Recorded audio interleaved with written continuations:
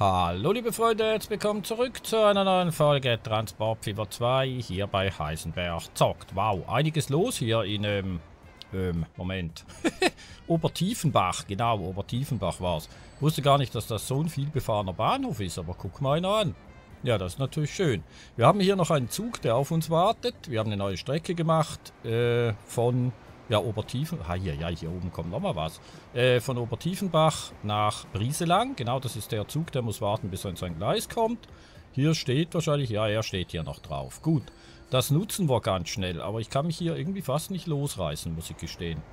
Ja, jetzt lässt langsam nach. Gut, wir machen mal schnell Pause, weil wir haben noch was anderes zu tun. In Brieselang selber. Da haben wir ja die Gleise ersetzt hier hinten, weil äh, da die, die, die Leitplanke mittendrin war. Also die, der, das Geländer war da mittendrin. Jetzt habe ich aber gerade gesehen, hier ist das auch noch. Wir sind ja eh im Pausenmodus. Dann können wir hier diesen Bereich schnell kappen und neu bauen. Dann ist das hier nämlich auch weg. Wenn es denn, jawohl, funktioniert, wollte ich gerade sagen. So, einmal weg damit. Dauert ein bisschen, ist immer so zu Beginn, wenn ich ein Spiel lade. Irgendwie möchte es dann nicht, auch wenn ich das Ganze halt einlese. Aber so mit Brücken ist immer ein bisschen schwierig. Äh, nehmen wir hier das Stellegleis, das was wir da eh hatten. Einmal hier rein und einmal hier rein und dann sollte das repariert sein. Wenn es denn funktioniert. Jawohl. Ja, mal schnell gucken. Ja, da wird noch gerechnet. Mach mal. Ja, fortsetzen. Jawohl. Passt, da ist nichts mehr in der Mitte drin. Gut, dann können wir zurück zu unserem Zug. Hier oben und dann steigen wir nämlich ein, sobald wir ja, freie Fahrt haben. Fahren wir denn schon? Nee, noch nicht, weil wahrscheinlich der Kollege immer noch drin steht. Er hier. Der ist zuständig, beziehungsweise der ist verantwortlich. Dann guck mal, dass du rauskommst. Wir gucken, dass wir hier reinkommen. Sehen wir von hier aus den Zug? Ja, wenn ich die käme. Irgendwie ein bisschen, wenn ich es hinkriege. Sag mal, Tastatur. Ja, da sehen wir die Züge. Da kommt gerade der TGW noch rein. Und ein Autosave natürlich, ja, aber das lasse ich tatsächlich, weil ich bin immer wieder froh äh, wenn ich das habe, weil sonst baue ich ins Leere raus, wenn das Spiel abstürzt. Das Problem kennen wir. Geht ja auch schnell. So, sehr schön. Ja, wir setzen uns in Gang. Okay, weil er jetzt hier rausfährt, dann gucken wir uns unseren Zug da nochmal an. Ah, schau mal an, das sind die gleichen Wagen. Ja, ich habe es doch fast vermutet. Wobei ist das nicht sogar... Das ist doch unser Zug. Warum ist denn hier Regio Brieselang Kirchberg? Da war schon, da war schon einer raus. Hä, hey, wann ist der denn reingefahren? Haben wir nicht die letzte Folge beendet, als ich die Züge gekauft habe? Haben wir danach noch was gemacht? Ja, ist im Prinzip egal. Dann ist der schon mal auf der Strecke. Ich wollte gerade sagen, die gleichen Wagen. Ja, kein Wunder, ist ja, da, ist ja die gleiche Linie. Da haben wir dann auch mal die gleichen Wagen. So, nochmal rauf. Oh, da kommt nochmal ein TGW. Auch ein schönes Bild. Nehmen wir gleich mal mit, so. Oh, nochmal ein Regio oder ein Interregio. Oh, und wir schlängeln. Ach, das ist ja richtig schön hier. wir müssen, glaube ich, öfters mal irgendwie nach Obertiefenbach rein, so wie das aussieht. Wunderbar. Gut, einmal Höhe generieren. Und dann setzen wir uns hier mal hin. Mal gucken, ob da jemand schon mitfährt. Werden wir gleich wissen. Die stehen eigentlich schon hier. Aber ob die für uns hier stehen, weil wenn da natürlich sowieso schon ein anderer Zug von unserer Linie drin war, dann hat der natürlich auch schon mal Leute mitgenommen. Das ist ganz klar. Aber wir sehen es ja gleich. 0 von 126 Kapazität. Aha. Na, möchte jemand? Jawohl, 6 Leute. Sehr schön, immerhin. Da kommt gerade noch ein, was ist das, ein Dostos da hinten? Ich sehe es nicht richtig. Aber der interessiert uns eigentlich nicht, weil wir fahren in die andere Richtung raus, wenn wir denn können. Ja, wir können. Sehr gut, mal gucken, wie frei wir fahren können. Es ist ist die Strecke... Ja, nee, das ist eine Strecke mit sehr viel Gleis, das wir schon hatten, aber eben mit der längsten Ausfädelung, die wir je gebaut haben. Stimmt. Mal gucken, ob wir die finden. Ich denke mal ja. Während da oben der TGW in seinen Spezialbahnhof reinfährt. Da haben wir ja einen eigenen Bahnhof für die TGWs und Hybride. Ja, und hier wartet nochmal ein Kollege. Allerdings, das ist jetzt wirklich eine andere Linie, aber guck mal, das, das sind auch die gleichen Wagen. Dann haben wir die Wagen schon mal verwendet. Okay, das ist aber kein Drama, weil das sind ja alles Züge, die hier nach Obertiefenbach reinfahren. Also von daher passt doch. Warum steht denn da Regio 18 Brieselang Kirchberg? Obertiefenbach ist das doch. Habe ich das falsch benannt? Das gibt's doch nicht. Ich habe das falsch benannt. Wie komme ich denn auf Kirchberg?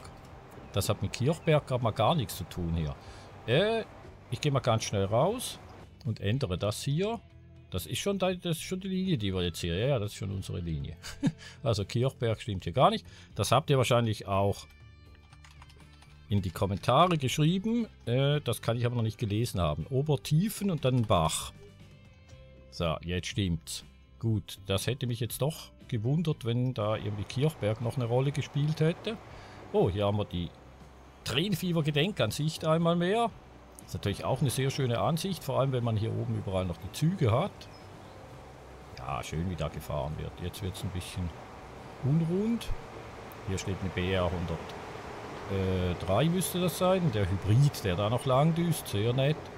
So, ich brauche nicht, nicht dich, sondern ich möchte hier... Ach so, Moment, ich müsste noch die richtige Kamera erwischen. Das wäre die hier. Einmal aufs Dach rauf. So, und dann verharren wir hier wieder. Da steht schon wieder einer. Okay. Nachtigall, ich höre dir trapsen. Haben wir hier erste Probleme mit stehenden Zügen. Wir sehen es gleich. Wenn hier natürlich noch weitere stehen, müssen wir uns das nochmal ansehen. Da könnte man auch nochmal ein Signal setzen. Nicht, dass das äh, das Problem behebt. Ja, da steht nochmal einer. Nicht, dass das das Problem behebt, aber hilft natürlich schon auch ein bisschen.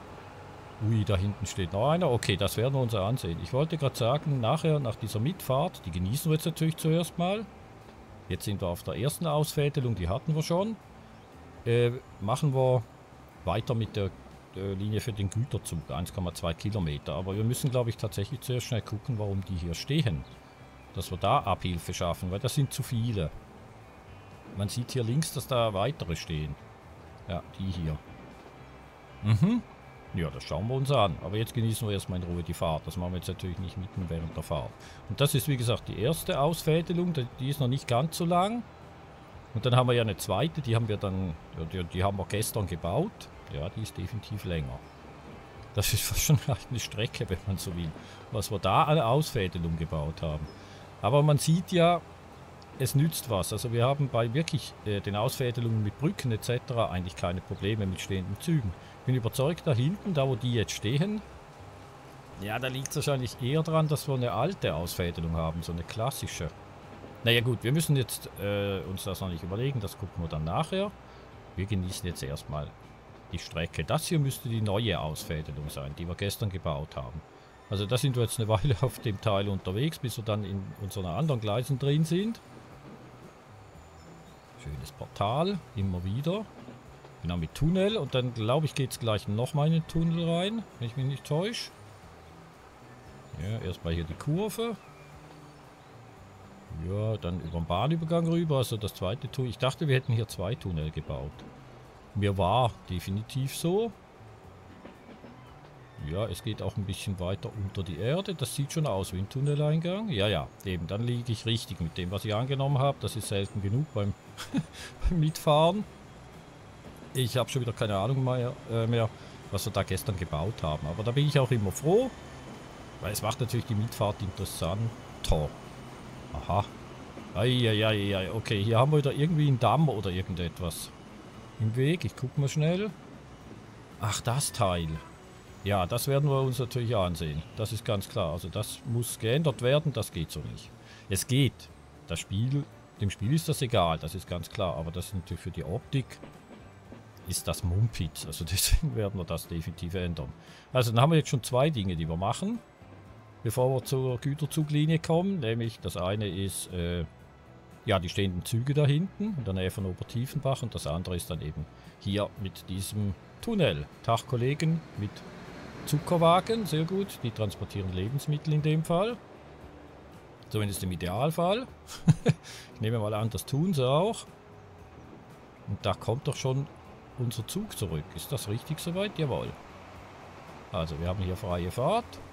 Also wir haben keine Probleme tatsächlich, aber in die Gegenrichtung hatten wir da vorher die Probleme. Jetzt muss ich gestehen, ich habe natürlich schon wieder keine Ahnung mehr, wie das hier irgendwie geht. Ist das hier die Abspaltung? Ja, ich glaube, da geht es in den Bahnhof rein. Tatsächlich hier vorne rechts. Da geht es in den Bahnhof rein. Wir haben Rot. Ich habe gerade noch gesagt, wir hatten keine Probleme. Das ist aber auch kein Problem. Also hier stehen wir halt und jetzt warten wir ein Momentchen. Da wird einer entgegenkommen. Ich glaube nicht, dass der Stadler Kies hier zuständig ist. Der fährt nach Rorschach rein. Von Brieselang aus. Ne, der ist auch nicht zuständig. Da ist jemand anderes zuständig. Kommt vielleicht von hinten noch ein Kollege. Nein. Nee, aber da steht schon wieder einer. Aha, jetzt haben wir die Freigabe. Gut, dann geht es für uns jetzt in den Bahnhof rein. Es war nicht mal eine ewig lange Strecke, aber halt mit dieser Einfädelung, die wir da gebaut haben, haben wir die Strecke sozusagen künstlich noch verlängert. Finde ich jetzt auch nicht so falsch. Äh, man sieht ja, es funktioniert. Und ich müsste mich jetzt schon täuschen, wenn es hier nicht tatsächlich in den Bahnhof reingeht. Ja, ja, das sind die Brücken. Normal mal hupen, bitteschön. Jawohl, fein gemacht. Genau, da geht es auf den Damm rauf. Und dann hier in luftiger Höhe über die Stadt hinweg. Und da hinten in den Berliner Bahnhof rein, den wir hier in Brieselang haben. Das Haus, das hier mal stand, das haben sie nicht mehr gebaut. Da bin ich froh. Da hat es vielleicht sogar geholfen, dass wir die Bäume da hingesetzt haben. Hier unten sehen wir die Bäume, da stand mal ein Haus in Gleisen drin. das haben wir mit den Bäumen verhindert, dass das wieder gebaut wird. Ja, es ist halt schon ein extrem cooler Bahnhof hier, der Berliner Bahnhof. Wir haben hier natürlich noch Gleise unterhalb, also unterirdische Gleise. Da werden wir auch noch ein paar Züge reinschicken, ganz klar. So, wir drehen dich mal. Auch wenn wir hier in luftiger Höhe sind. Ja, das sieht halt schon, das sieht schon sehr gut aus. Rieselang Zentrum, wir sind angekommen.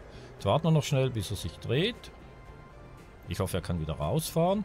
Ist natürlich schon mit diesem Eingleising, was wir hier haben, bei der Ausfahrt oder bei der Einfahrt, je nachdem von wo man kommt, das ist nicht ideal. Da kannst du dann halt wirklich auch mal Probleme haben mit den Zügen. Ich muss jetzt mal gucken, ob er, ja, ob er fährt. Doch, er fährt. Okay, also er kann fahren, während wir dort noch den Stadler Kiss die Railjet-Version haben. Sehr schön. Gut, also, dann haben wir das. Lassen wir den rausfahren. Und was machen wir zuerst? Ich würde sagen, wir machen zuerst diese Unterführung hi äh, hier. Die da irgendwie nicht ganz so ideal ist, sagen wir es mal so. Wo hatten wir die denn? Das müsste hier sein. Jawohl, gut, das haben wir natürlich relativ einfach behoben. Ich gehe mal ganz schnell auf Pause, hole den Bagger. Wir reißen einfach den Bereich ab, wo das hier darunter ist. Das können wir lassen, die beiden, weil hier ist aufgeschüttet worden. Aber hier dieser Teil, der muss weg. Äh, schauen wir mal. Das muss weg. Ja, jetzt rechnet es wieder. Nicht rechnen, also ja schon rechnen, aber halt primär mal abreißen. Ja, jetzt klappt Das muss auch weg. Das ebenfalls, das ebenfalls und das hier noch. Und dann schauen wir mal, ob wir hier ja, aufschütten oder eine Brücke machen. Das werden wir jetzt gleich sehen.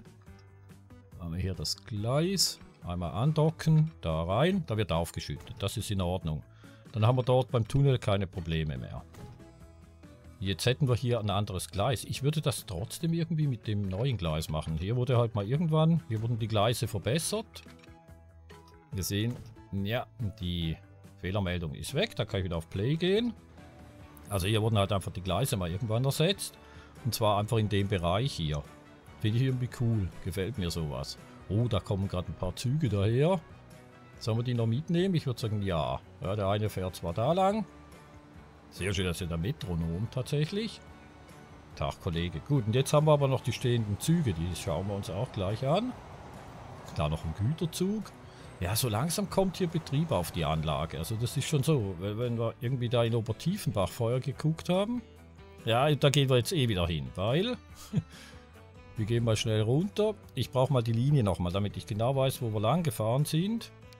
Mach mal das Auge und mach mal Genau, Brieselang Obertiefenbach. Ne, jetzt habe ich das Falsche aufgemacht. Mach hier nochmal. Die hier brauchen wir. So, einfach damit wir sehen, wo sind wir lang gefahren. Und wo stehen hier Züge. Da haben wir die Signale. Jetzt fährt er. Aha. Jetzt steht hier keiner mehr. Okay, dann hat sich's aufgehoben. Ich habe es mir fast noch gedacht, weil der Punkt ist halt im Bahnhof selber hier vorne. Da hatten wir gar keine Probleme. Das sieht man ja hier. Hier ist ein munteres Gefahren. Rein und raus. Also wenn sich das, oder wenn hier ein Problem gewesen wäre, dass die Züge deswegen stehen, dann hätten wir das im Bahnhof schon gehabt. Aber das haben wir tatsächlich nicht. Nein, jetzt fahren sie. Dann haben sich die wahrscheinlich einfach gleichzeitig irgendwie... Die wollten alle gleichzeitig hier lang. Ja. Ja, der steht jetzt. Ah, hier hinten fahren sie. Die B103 ist am Fahren. Er ist hier am Warten. Ja. Äh, dann hieß ich doch gleich mal zur Feier des Tages.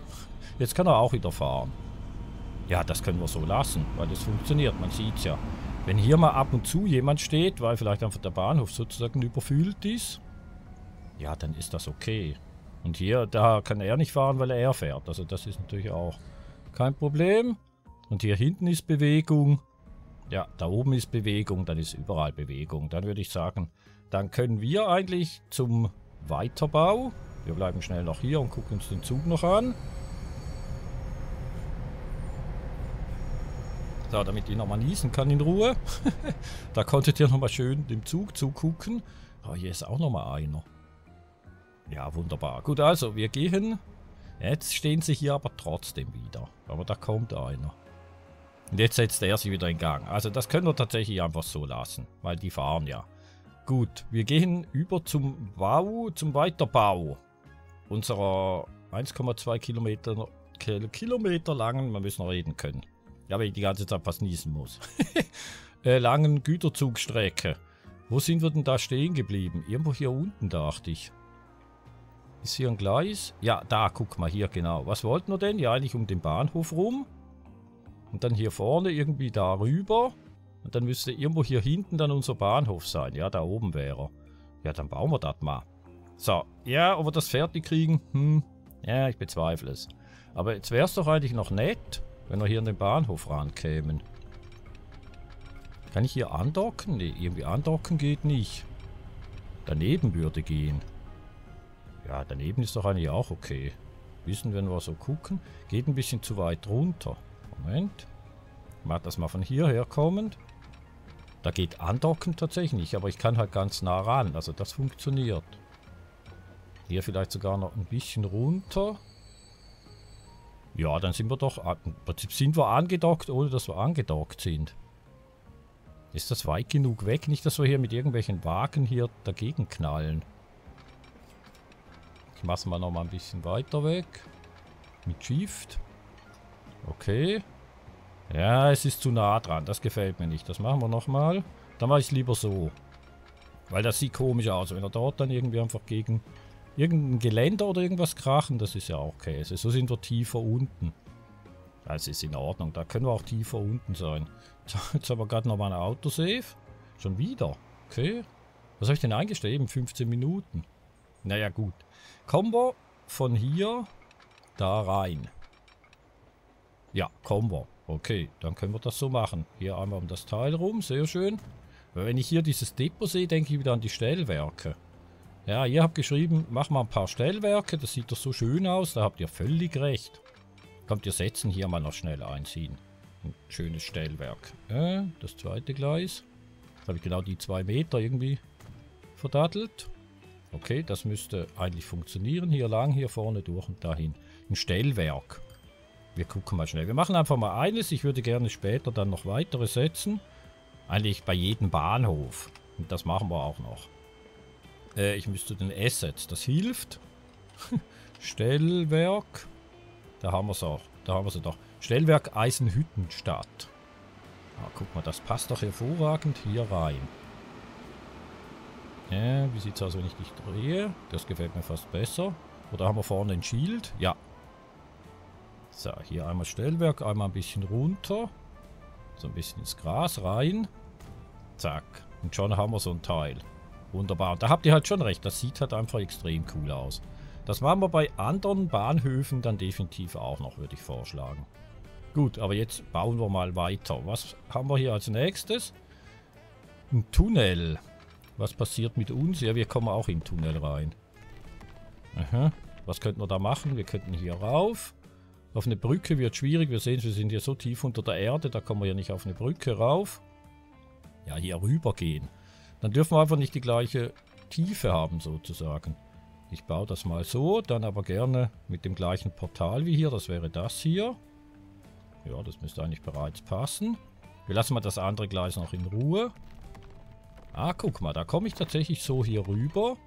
Wir haben hier keine Kreuzung. Das ist schon mal cool. Und sind dann hier. Da müssten wir hier auf eine Brücke. Das müsste eigentlich gehen. Guck mal, das geht hier so runter. Da kommen wir hier drauf eine Brücke. Wegen den Gleisen hier, meine ich. Ja, machen wir so. Das ist schon schön. Wir müssen halt nicht aufs Tempo achten. Wir müssen auf gar nichts achten. Wir müssen einfach gucken, dass das irgendwie eine coole Strecke gibt. Das macht schon Laune zum Bauen. Es ist auch cool, tatsächlich zu bauen und aufs Tempo zu achten. Ist ganz klar. Das macht auch Spaß. Aber das hier ist mal was anderes sozusagen. So, also hier hin. Jetzt irgendwie mit dem Gleis. Ja, ja, die Brücke gibt es wie gesagt automatisch. Was sehen wir hier für eine Brücke? Das ist ein Güterzug, ein langer. Irgendwie sowas. Ja, das sieht doch staatlich aus. Sehr gut. Allerdings, wir könnten natürlich hier... Hier haben wir nochmal Gleise. Also wir gehen hier dann über den Fluss rüber. Dann würde ich hier einen Bereich aufschütten. Oder wir gucken mal wegen dem Damm. Kannst du hier bitte nochmal einen Pfeiler setzen? Und zwar auf der anderen Seite vom Gleis. Ja, zum Beispiel so. Machen wir mal. Zack, gebonkt. Dann geht das hier runter. Sagen wir mal so. Und das machen wir jetzt aber, entweder machen wir dann eine Aufschüttung oder wir machen einen Darm.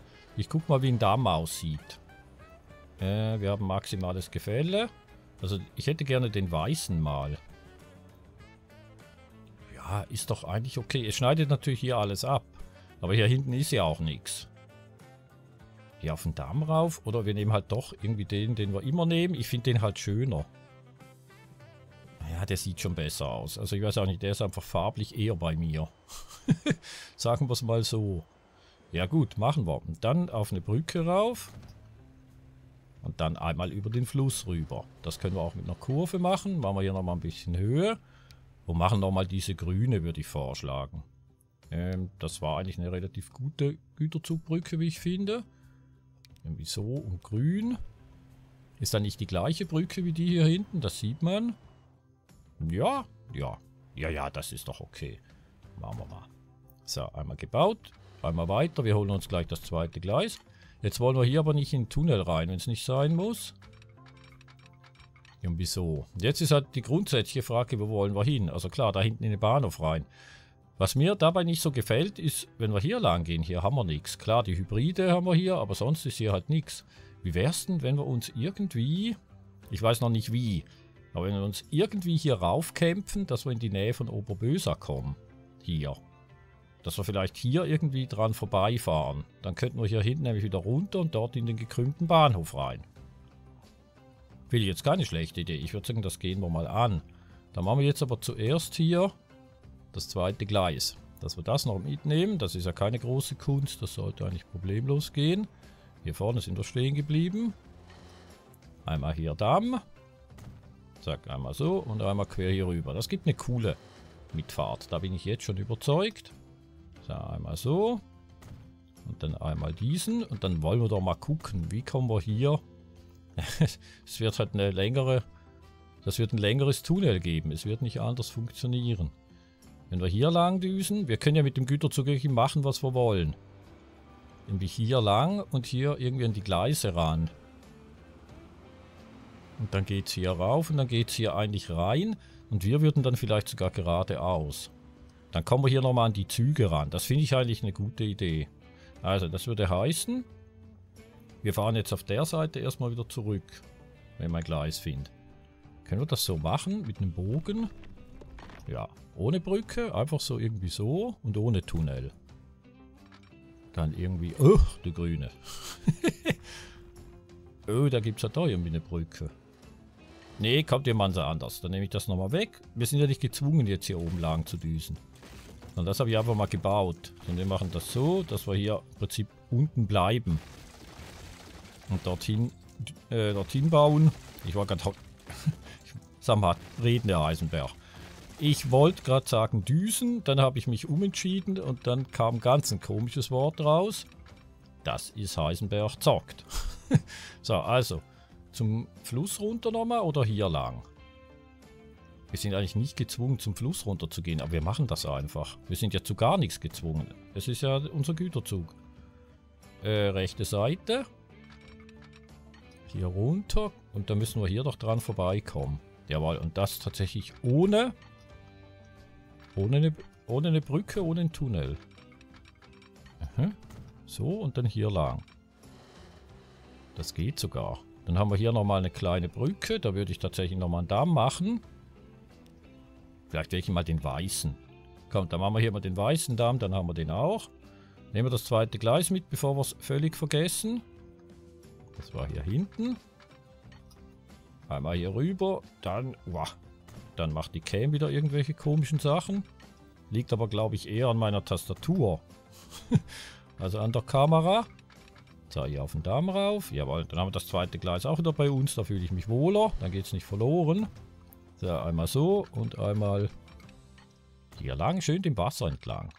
Das hat doch einen gewissen Reiz. Finde ich das bessere. Oder die bessere Variante wie die. Eben, dass wir hier allen Ernstes irgendwie nach da hinten gehen und dann haben wir dort nichts. Jetzt geht es hier von quer nach schief. Das ist doch wunderbar. Wo müssen wir denn genau hin? Was haben wir gesagt? Im Prinzip hier durch den Bahnhof durch. Wäre eine Idee. Oder hier durch den Berg durch. Und dann hier hinten ans Gleis ran. Hier werden wir nicht... Ich würde die Depots stehen lassen. Ja, und dann hier wieder raus. Okay. Kommen wir hier... Also wir gehen natürlich nicht in die Gleise rein, wir gehen an die Gleise ran. Das müssen wir hier irgendwie machen. Das würde schon mal gehen. Ich mache hier mal schon mal die beiden. Und dann gucken wir, ob wir da irgendwie reinkommen.